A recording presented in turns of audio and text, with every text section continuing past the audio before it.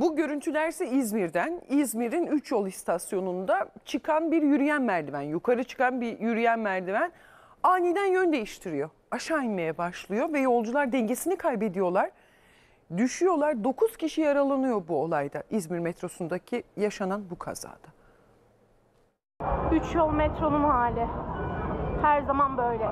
Bu belediye hiçbir işe yaramıyor. Her zaman, her gün, her sabah işe giderken aynı sorunu yaşıyoruz biz. Yürüyen merdiven ters yönde hareket etti, 9 kişi yaralandı. Kaza İzmir metrosunun 3 yol istasyonunda yaşandı.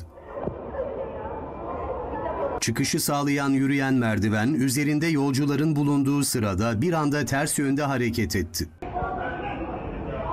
Olayda dengesini kaybederek düşen 9 kişi yaralandı.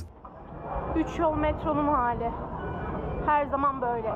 Bu belediye hiçbir işe yaramıyor. Her zaman, her gün, her sabah işe giderken aynı sorunu yaşıyoruz biz. Olay yerine sevk edilen sağlık ekipleri yaralıları kontrol amaçlı çevredeki hastanelere kaldırdı. Yaşlı başlı kadın.